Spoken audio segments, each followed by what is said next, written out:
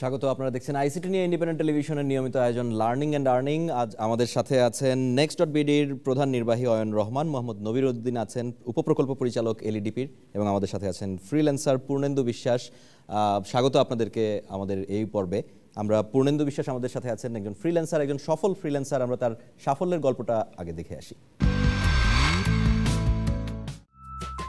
ঢাকা বিশ্ববিদ্যালয় থেকে ফাইন্যান্সে লেখাপড়া করেন পূর্ণেন্দু বিশ্বাস দু হাজার বারো সালের শেষের দিকে শিক্ষা জীবন শেষে বন্ধুদের সঙ্গে প্রায়ই চাকরি নিয়ে আলোচনা হতো। তো বিভিন্ন আলোচনা ওরা বলতো যে আমার অনলাইনে ইনকামের একটা সুযোগ আছে বা অনলাইনে এরকম কাজ করা যায়। তো সেই জায়গাটা থেকে আমি তখন দেখলাম যে নিজেও ঘাটাঘাটি করলাম যে দেখলাম যে না অনলাইনে কাজ করার সুযোগ আছে একটা আর্নিংয়ের সুযোগ আছে। সেখান থেকে আমি ওডেক্স সম্পর্কে জানতে পারি। ওডেক্স খুলে দেখেন অনেক ধরনের কাজ। কাজ করতে করতে দেখলাম যে না ভালো লাগতেছে এবং ক্লায়েন্টদেরও একটা অ্যাপ্রিসিয়েশন পাচ্ছে। আমি কাজটা পেতে বেশি মানে প্রথম কাজটা পেতে বেশি দেরি হয়নি আমি এক মাসের মধ্যেই প্রথম কাজটা পাই। এরপর কাজের টাকা পান। হাতে টাকা পাওয়া ছিল অবিশ্বাস্য একটি ব্যাপার। আমার প্রথম কাজটা আমি করি সে কাজের রেমুনেশন ছিল পঞ্চাশ ডলারের মতো। তো আসলে মানে প্রথম যখন টাকাটা মানে পাই এটা একটা অন্যরকম একটা অনুভূতি ছিল। কারণ এই মাধ্যমটাতে যে ইনকাম করা সম্ভব এটাই আসলে আমার মানে ওভাবে মানে বিশ্বাসযোগ্য মনে হয়নি। এই খাতে আর কারা কাজ করছে কি ধরনের কাজ করছে কীভাবে করছে তা ভালো করে দেখে নিলেন তিনি। তো যখন দেখলাম যে না আমার ভালো ডিমান্ড আছে দেন আমি আরও সিরিয়াস হলাম আমি বিভিন্ন ধরনের মার্কেট রিসার্চ করলাম যারা এ ধরনের কাজ করতেছে প্রেজেন্টেশনের কাজ করতেছে তাদের সম্পর্কে জানলাম এবং দেখলাম যে তারা কি নিয়ে কাজ করতেছে। এবং তাদের কাজের স্টাইলটা কীরকম, ধরনগুলো কীরকম। সেই জায়গাটা থেকে আমি নিজেকেও আস্তে আস্তে করে আরও আপডেট করলাম। দু হাজার বারো ডিসেম্বরে আমি কাজ শুরু করি। এখন পর্যন্ত আমি একশো চৌত্রিশটা প্রজেক্ট কমপ্লিট করছি। আমি ওয়ান লাখ ডলারের মতো আমি ইনকাম করছি এখন পর্যন্ত। এই পেশা সম্পর্কে ধারণা না থাকায় প্রথম প্রথম বাবা মা সহ পরিবারের সদস্যরা চাননি পূর্ণেন্দু এই পেশায় আসুক। তবে এখন তাদের দৃষ্টিভঙ্গি বদলেছে। দেশের প্রত্যন্ত অঞ্চলে বেকার যুবকদের প্রশিক্ষণ দিয়ে ফ্রিল্যান্সিং পেশায় সম্পৃক্ত করার উদ্যোগ নিয়েছে সরকার। এই উদ্যোগের প্রশংসা করলেন পূর্ণেন্দু। এই লার্নিং অ্যান্ড আর্নিং যে প্রজেক্টটা এটা ডেফিনেটলি একটা সুন্দর উদ্যোগ এবং এজন্য আমি বিশেষ করে আমাদের গভর্নমেন্ট এবং মাননীয় মন্ত্রী মহোদয়কে আমি ধন্যবাদ জানাতে চাই। আসলে এই এই ধরনের উদ্যোগগুলো আমাদেরকে ইন্সপায়ার করে এবং ডেফিনেটলি আমরা যারা ফ্রিলান্সার আছি যারা ফ্রিলান্সিং করতে চাই তাদের জন্য এটা ডেফিনেটলি একটা পজিটিভ উদ্যোগ।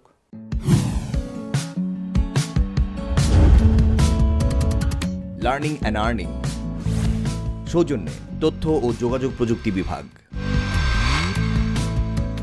আমরা দেখছিলাম পূর্ণেন্দু বিশ্বাসের সাফল্যের গল্প আমরা তার কাছেই যাই শুরুতে। আপনি পিচ ডেকের কাজ করেন। হ্যাঁ। আপওয়ার্কেই এই কাজটা, কাজের ধরন সম্পর্কে যদি একটু বলেন। আসলে, এই পিসডিকের কাজটা হচ্ছে গিয়ে যে আপনার একটা বিজনেস যখন নতুন একটা আইডিয়া নিয়ে আসে, তো তখন তার একটা ফান্ডের দরকার হয় মার্কেট থেকে, যেটাকে আমরা ভেঞ্চার ক্যাপিটাল বলে থাকি।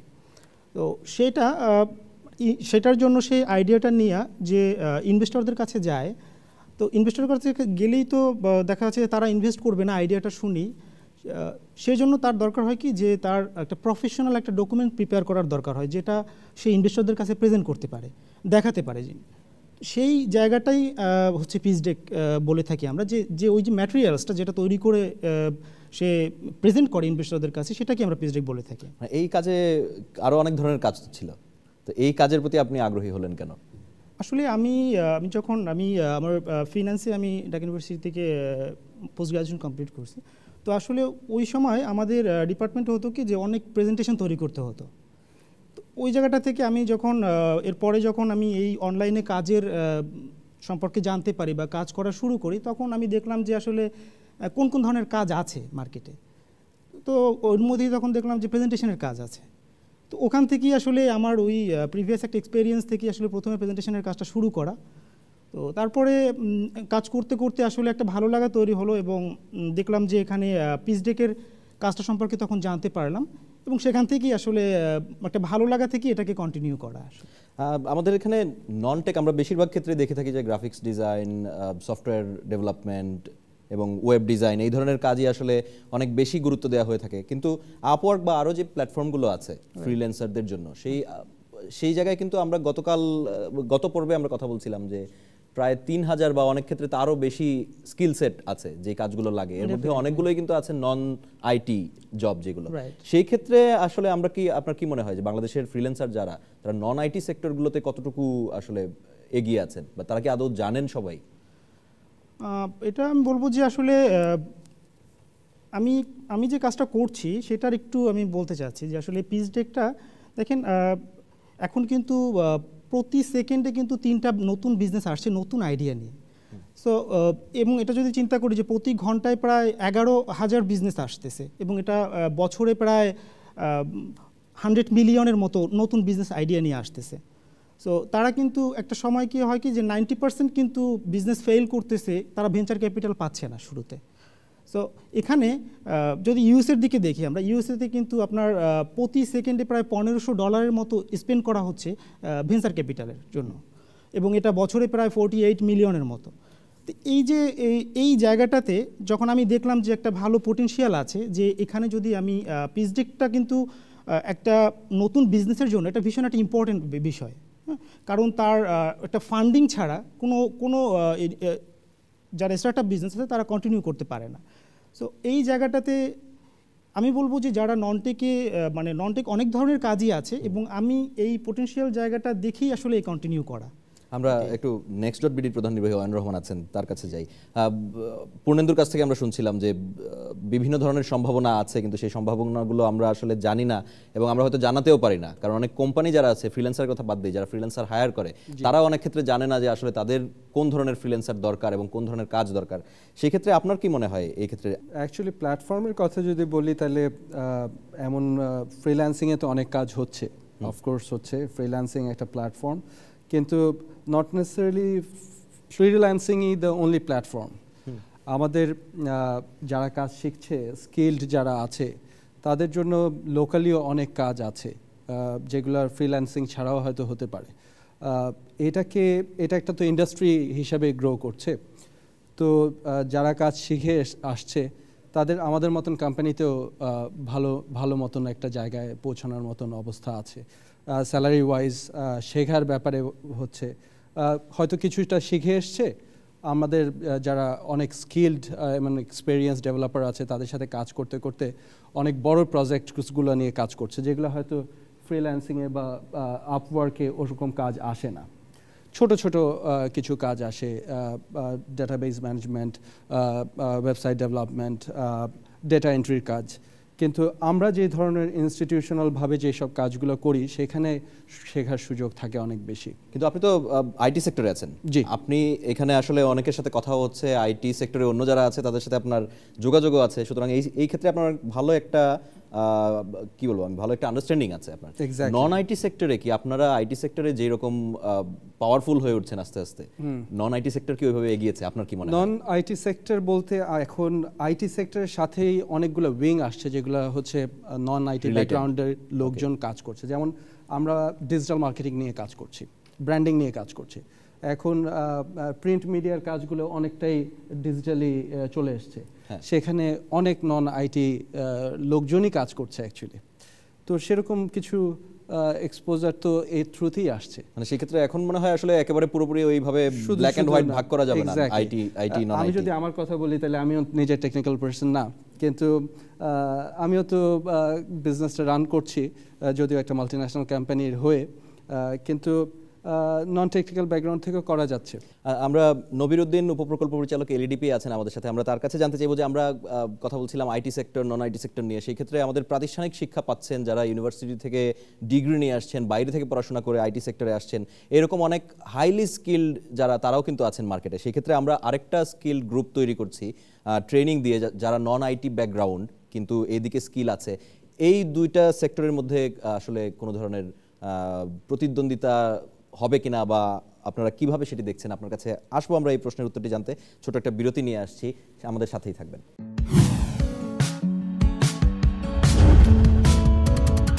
লার্নিং অ্যান্ড আর্নিং সৌজন্যে তথ্য ও যোগাযোগ প্রযুক্তি বিভাগ। স্বাগত আরও একবার আপনারা দেখছেন লার্নিং অ্যান্ড আর্নিং আমরা নবিরুদ্দিনের কাছে একটি প্রশ্ন করেছিলাম বিরতির আগে। ধন্যবাদ আপনাকে। টেক আর নন টেক আর আইটি আর নন আইটি যেটাই বলেন না কেন আপনি যারা বাইরে থেকে আসছে পড়াশোনা করে বা আমাদের দেশের বিভিন্ন প্রাইভেট এবং পাবলিক সেক্টরে যে ইউনিভার্সিটিগুলো আছে সেগুলো থেকে যারা সিএসসি গ্র্যাজুয়েট বা সিএসসি কমপ্লিট করে বেরোচ্ছে তাদের কাজের কোয়ালিটি কিন্তু একটু আপার এন্ডের কাজ। মেনলি তারা প্রোগ্রামিং করতেছে সফটওয়্যার ডেভেলপমেন্ট করতেছে অ্যান্ড্রয়েড অ্যাপ্লিকেশন ডেভেলপ করছে গেমিং ইন্ডাস্ট্রিতে কাজ করছে। তো যারা হয়তো আইটির উপরে ওই রকমের দক্ষ না, হয়তো হাতে খড়ি আছে আইটিতে, তাদেরকে আমরা এই স্টিম লাইনে কীভাবে আনতে পারি? সেটা আসলে আমাদের এলইডিপির উদ্দেশ্য ছিল। তো তাদের কাজের সাথে কোনো কনফ্লিক্ট হওয়ার কোনো সুযোগ নাই, কারণ যারা গ্র্যাজুয়েশন করে বা মাস্টার্স করতেছে সিএসসিতে তাদের কাজের ডিফারেন্টটা কিন্তু আলাদা। ওকে সফটওয়্যার ডেভেলপমেন্ট বলেন, সফটওয়্যার টেস্টিং বলেন কোয়ালিটি অ্যাসুরেন্স লেভেলের কাজগুলো করে থাকে মোবাইল অ্যাপস ডেভেলপমেন্ট আর যারা আমাদের এলইডিপির বেনিফিশিয়ারিজ রয়েছে বা ট্রেনি যারা, তারা আসলে graphics design web design digital মার্কেটিংয়ের মতো যে মিড লেভেলের কাজগুলো সেইগুলোর দিকেই আমরা তাদেরকে তৈরি করছি যেন বিশ্বে ওয়ার্ল্ডে যে কাজগুলো রয়েছে, তারা যেন সেই কাজগুলো ধরতে পারে আসলে। আচ্ছা তাহলে আপনি মনে করছেন যে আসলে তেমন কোনো কনফ্লিক্ট হবে না, বরং সহযোগিতাই হবে? যে গ্যাপটা আছে সেটা ফিল হবে। একটা গ্রুপ আপার এন্ডের কাজ করবে আর একটা গ্রুপ মিডিল লেভেলে বা লো এন্ডের কাজ করবে। সেক্ষেত্রে সব ধরনের কাজেরই কাজ করার সক্ষমতাটা আমাদের থাকবে মানে পুরো পুরো মার্কেটটাই আমাদের থাকবে. আমি পূর্ণেন্দু বিশ্বাসের কাছে আরও একবার যেতে চাচ্ছি। আপনি ভেঞ্চার ক্যাপিটালের কথা বলছিলেন যে অনেকে সেটা নিশ্চিত না করেই মার্কেটে আসছেন এবং এসে তারপরে আর বিজনেস করতে না পেরে মানে শাটডাউন হয়ে যাচ্ছে সেগুলো। সেই ক্ষেত্রে আপনি যখন এই কাজটা করার কথা চিন্তা করলেন সেই ক্ষেত্রে কি মার্কেট অ্যানালাইসিস আপনি করেছিলেন? এটা আসলে আমি কাজটা যখন শুরু করি তখন তখন আমি অবশ্যই মানে বিষয়টা নিয়ে ভাবি যে আসলে আমার মানে এটার প্রয়োজনীয়তাটা কতটুকু আছে? যে আমার আমার ভ্যালুটা কি কী হবে আসলে মার্কেটে মানে আমি যে প্রোডাক্টটা ক্রিয়েট করব। তো সেই জায়গাটা থেকে যখন দেখলাম যে আসলে নতুন বিজনেস আসছে স্টার্ট আপ আসছে অনেক তো তাদের এই প্রফেশনাল একটা ম্যাটেরিয়ালস দরকার এবং এই জায়গাটাতে আমার এক্সপিরিয়েন্স আছে। কিন্তু এই ধরনের প্রজেক্ট প্রপোজাল বা আপনি অন্য যে কোনো কিছুর কথাই ধরেন সেগুলো তো একটা প্রতিষ্ঠানের বিজনেস ইনস্টিটিউশনের কথা যদি আমি ধরি সবসময় প্রয়োজন হয়। হ্যাঁ, সেই ক্ষেত্রে তারা কেন একজন ফ্রিল্যান্সারের উপর রিলাই করবেন? কেন তারা একজন পার্মানেন্ট এমপ্লয়ি নিয়োগ করবেন না? এটার একটা মানে একটা মেজর কারণ হচ্ছে কি যে দেখেন যে ডিকটা কিন্তু এটা কিন্তু একটা ইনি মানে তার আইডিয়াটা নিয়ে সে কিন্তু প্রেজেন্ট করছে ইনভেস্টরদের কাছে। আপনি যে বলছেন যে এমপ্লয়ি যে কাজটা করে সেটা কিন্তু এই ধরনের না. এবং আমি কিন্তু এই পার্টিকুলার বিষয়টাতেই কাজ করছি। সো এখানে মানে আমার যে নলেজের যে জায়গাটা সেটা এই পার্টিকুলার ম্যাটারটাতে এই কারণেই তারা আমার কাছে আসছেন মূলত আসলে। জনাব নবিরুদ্দিনের কাছে আমি যাই। পূর্ণেন্দু বিশ্বাসের মতো যারা আছেন বাংলাদেশে কিন্তু copy writer copy editor translator proof reader এরকম আরও হাজার হাজার কাজ আছে যেগুলো আসলে আপনারা এখন দেখছেন না। সেগুলোর বিষয়ে আসলে পরিকল্পনা কি? খুব দ্রুতই কি কোনো পরিকল্পনা আছে? আইসিটির একটা ইকোসিস্টেম ডেভেলপমেন্টের কাজ করছে অ্যাকচুয়ালি ওকে যে কোনো সেক্টরটাই যেন আমাদের ডেভেলপমেন্টের বাইরে না যায়। তো সেক্ষেত্রে ট্যুরিজম বলেন অথবা অ্যাকাউন্টিং বলেন অথবা আপনার আদার্স যে সেক্টরগুলো আছে এগ্রিকালচার বলেন সব সেক্টরেই যেন আমরা গ্লোবালি কম্পিট করতে পারি। সেই জিনিসটা মাথায় রেখেই কিন্তু আইসি ডিভিশনের ইনফ্রাস্ট্রাকচার বলেন হিউম্যান রিসোর্স ডেভেলপমেন্ট সেই কাজগুলো নিয়ে কাজ করছে। তো এই নন আইটির বাহিরে যারা আছে, যেই কাজগুলো যেমন আর্টিকেল রাইটিং বলেন, অথবা পিসডকের মতো যে কাজ বিজনেস কনসেপ্টগুলোকে স্ট্যান্ডার্ডাইজেশন করে দেওয়া প্রেজেন্টেশন বানানো, এই কাজগুলোর জন্য লার্নিং আর্নিং প্রজেক্টে এই মুহূর্তে কোনো স্কোপ নেই বাট নেক্সট যে আমাদের আর্ন অ্যান্ড পে একটা প্রজেক্ট আসবে হয়তো এবং এসিসিএ মানে অ্যাকাউন্টিং বিপিও নিয়ে একটা মানে প্রস্তাবনা চলতেছে মানে আইসি ডিভিশনে যে এই প্রজেক্টগুলো আসলে সেইখানে কিন্তু আমাদের স্কোপগুলো রেডি হবে। মানে পূর্ণেন্দু বিশ্বাস তাহলে এখনও আশা ছেড়ে দেওয়ার কিছু নেই আমার মনে হচ্ছে। সে- সেই ক্ষেত্রে আমি ট্রেনিংয়ের কথা যেটা বলছি ট্রেনিংয়ের পরে অনেক ক্ষেত্রে আমরা দেখছি যে ফ্রিল্যান্সাররা প্রপার মেন্টরিং এর অভাবে কাজটা পাচ্ছেন না ঝরে যাচ্ছেন অনেকবার ট্রাই করছেন কিন্তু ঠিকমতো মার্কেটটা গ্র্যাব করতে পারছেন না। অনেকে হয়তো তার চেয়ে কম দামে নিয়ে যাচ্ছে, কিন্তু ভালো কাজ পারা সত্ত্বেও পারছেন না। এটা আসলে কি কারণে হচ্ছে? হ্যাঁ এটা হচ্ছে কি যে আমি একটু বলব যে এখানে যারা নতুন ফ্রিলান্সার যারা আপওয়ার্কে কাজ করতে আসছেন, তারা আসলে শুরুতেই যেটা করা উচিত সেটা হচ্ছে গিয়ে যে আপনার একটা পার্টিকুলার একটা স্কিলে তাকে দক্ষ হতে হবে এবং সেই পার্টিকুলার স্কিলটার উপরেই ফোকাস করতে হবে। যেমন আমি যে পিসডেকের কাজটা করছি এটা কিন্তু মানে আমি চার বছর ধরে আমি জাস্ট মানে এপিএসডিকের কাজটাই করছি। এখন আমি কিন্তু অন্যান্য কিছু স্কিল আমার আছে। আমি হয়তো বা ফটোশপের কিছু কাজ জানি আমি হয়তো ইলাস্ট্রেটরের কিছু কাজ জানি। বাট আমি কিন্তু শুধুমাত্র এটারই কাজ করতেছি হ্যাঁ? তো এই জায়গাটাতে আমি বলব যে যারা মানে একটা স্কিলে যদি ডেভেলপ করা যায় নিজেকে এক্সপার্ট হিসেবে এস্টাবলিশ করা যায় ডেফিনেটলি তার কোনো কাজের কোনো অভাব হবে না। মানে jack of all trades master of none হয়ে লাভ নেই। এটাই বলছেন। একটা জিনিসের মাস্টার হওয়া উচিত। আমরা একেবারেই শেষের দিকে চলে এসেছি। আমরা নবিরুদ্দিনের কাছে একটু সর্বশেষ জানতে চাই যে আমরা যদি মাত্র দুহাজার সতেরো সাল শুরু হলো এবং আপনাদের কিন্তু ফুল সুইংয়েই চলছে এখন এলইডিপি আপনাদের একটা টার্গেটও আছে। এই এক বছরের মধ্যে আপনারা আপনাদের টার্গেটটা কি? আমাদের এলইডিপির এখন যে টার্গেট রয়েছে সেটা তেরো হাজার জন প্রফেশনাল আউটসোর্সার তৈরি করা। তো সেই টার্গেটকে লক্ষ্য রেখে এখন প্রতিটি জেলায় এই প্রশিক্ষণ কার্যক্রমগুলি চলছে। তো এই প্রশিক্ষণ শেষে কিন্তু আপনি যেটা বললেন যে মেন্টরিংয়ের একটা প্রয়োজন রয়েছে। আমাদের যে কনসাল্টিং ফার্মগুলো রয়েছে তারা কিন্তু প্রশিক্ষণ দুশো ঘণ্টার যে প্রশিক্ষণ রয়েছে এই প্রশিক্ষণ শেষে কিন্তু তারা চলে যাবে না। তারা up up to six months পর্যন্ত যারা ট্রেনিং নিচ্ছে তাদেরকে আমরা মেন্টরিং করব। তারা কোথায় কমিউনিকেশন করতে যে মানে সমস্যা হচ্ছে তারা বায়ারদেরকে মোটিভেট করতে পারছে কিনা কোনো ধরনের বায়ারের একটা কোয়ারি আসলেও সেগুলো সাথে সাথে যেন তাদের টিম লিডারকে বলে সেগুলো রিজলভ করতে পারে। এই ধরনের মেন্টরিং একটা চুক্তি রয়েছে তাদের সাথে যেন ট্রেনিংয়ের শেষেও যেন ছয় মাস পর্যন্ত তারা মেন্টরিংয়ের আওতায় থাকতে পারে। তো আগামী জান ডিসেম্বরের মধ্যে আমাদের তেরো হাজার যে প্রফেশনাল ট্রেনিং চলতেছে, আমরা দেখতে চাই যে সবগুলো যারা ট্রেনিং নিচ্ছে সবাই যেন আউটসোর্সিং করে বড় ধরনের একটা বৈদেশিক মুদ্রা অর্জন করতে পারে। এই টার্গেটটা নিয়ে আমরা কাজ করছি। আরেকটু বিষয় যদি জানতে চাই যে যারা রেজিস্ট্রেশন করেই তো আপনাদের ট্রেনিংটা নিচ্ছে, যারা রেজিস্ট্রেশন করে ভবিষ্যতে মেন্টরিং শেষ হয়ে গেল, তারা মার্কেটেও গেলেন এবং সেখানে কাজ করলেন, সেই ক্ষেত্রে যারা কেউ যদি কোনো ধরনের কোনো প্রবলেমস ফেস করেন, সেই ক্ষেত্রে আপনাদের আসলে পরিকল্পনা কি? যে আপনারা তাদেরকে কি ধরনের সাপোর্ট দিবেন সরকারের পক্ষ থেকে? প্রবলেম বলতে যে এটা এইটা আসলে আউটসোর্সিংটা হচ্ছে তার স্কিলের উপর নির্ভর করবে। সে কী ধরনের স্কিল গেইন করতে পেরেছে আপনার ট্রেনিং তো এই স্কিলটার স্কিল তো আসলে তাকেই অর্জন করতে হবে। আমরা শুধু ট্রেনিংয়ের মাধ্যমে একটা গাইডলাইন দিয়ে দেবো বা একটা পথ দেখিয়ে দেবো যে কীভাবে অর্জন করতে হবে সেটা আপনারা শিখিয়ে দিবেন সেটাই শিখাবো। তো তার পরবর্তী কোনো ধরনের যদি ডিফিকাল্টিস আসে যে না আমার অ্যাকাউন্ট হ্যাক হয়েছে বা আমি মানি ট্রানজেকশন করতে পারছি না এই ধরনের ডিফিকাল্টিস আসলে টাইম টু টাইম ডিফিকাল্টিসের ধরন বুঝে আমরা সেই ধরনের তাদেরকে সহযোগিতা। ফ্রিল্যান্সার ফ্রিল্যান্সারদের কাছে এরকম ভালো হয়েছে এই কথাটা উঠে। একেবারেই সংক্ষেপে একটু জানতে চাচ্ছি আপনার কাছে যে ফ্রিল্যান্সারদের অনেক ধরনের নানা ধরনের অভিযোগ থাকে যে আমরা আসলে কাজ করি টাকা পাই না এখানে অনেক ধরনের ঝামেলা হয় আমরা আহ, কাজটা দিয়ে দিয়েছি এখনও অপেক্ষা করছি আমাদের ট্রানজাকশন হচ্ছে না। এই ধরনের নানা ধরনের সমস্যা কিন্তু আছে এই সমস্যাগুলো বাড়ছে না কমছে আপনার কাছে জানতে চাই। সমস্যা ফ্রিল্যান্সিং এর ব্যাপারে আমি ঠিক বলতে পারব না to be to be honest যে হচ্ছে কি এই ধরনের সমস্যার কি সেটা হয়তো উনি ভালো বলতে পারবেন। তো আমি এটাই তার কাছেই পাস করে দিচ্ছি। আপনাকে দেখেই মনে হচ্ছে অনেক সমস্যা। না আমি আমি বলব যে আসলে আপওয়ার্কের কথাটা যদি বলি যে এখানে কিন্তু পেমেন্ট প্রসেসিংটা এখন অনেক বেশি প্রোটেক্টেড বলা যায়। কারণ আসলে ক্লায়েন্টরা এখন মানে এখানে আপওয়ার্ক এমনভাবে তাদের সিস্টেমটা ডেভেলপ করছে যে এখানে ক্লায়েন্টরা পেমেন্ট না দিয়ে যে আমার কাজটা নিয়ে যাবে এ ধরনের সিস্টেমটা এখন আর নেই। সো এই বিষয়টাতে আমি মনে করি যে এটা ইমপ্রুভ হয়েছে অবস্থাটা অনেকটাই। এবং আরেকটা বিষয় হচ্ছে কি যে আপনার আপওয়ার্ক থেকে কিন্তু এখন আমরা ইজিলি আমাদের ব্যাংকে ফান্ডটা নিয়ে আসতে পারি। আরেকটা বিষয় হচ্ছে কি যে আপনার আমরা পেওনিয়ারে যাদের পেওনিয়ার বলতে একটা পেমেন্ট গেটওয়ে আছে সেটা যদি ইউজ ইউজ করা যাচ্ছে বাংলাদেশের জন্য সেটা ব্যবহার করলেও আমরা অনেক বেশি বেনিফিটেড হচ্ছি। আমরা আশা পেয়েছি যে পেপলের মতো যেই অর্গানাইজেশনগুলো আছে তারাও সম্ভবত খুব দ্রুতই বাংলাদেশে কাজ শুরু করে দিবে। সেই ক্ষেত্রে এই এখনও যে সমস্যাগুলো আছে সেগুলোও হয়তো আর ভবিষ্যতে থাকবে না। আপনাদের সবাইকে অনেক ধন্যবাদ আমাদের সাথে যোগ দেওয়ার জন্য। আজকে এখানেই শেষ করছি। আপনারা সবাই আমাদের সাথেই থাকবেন। আমরা পরবর্তী পর্বে নতুন কোনো অতিথি নিয়ে, নতুন কোনো বিশ্লেষণ নিয়ে আপনাদের সামনে হাজির হব। সবাই ভালো থাকবেন।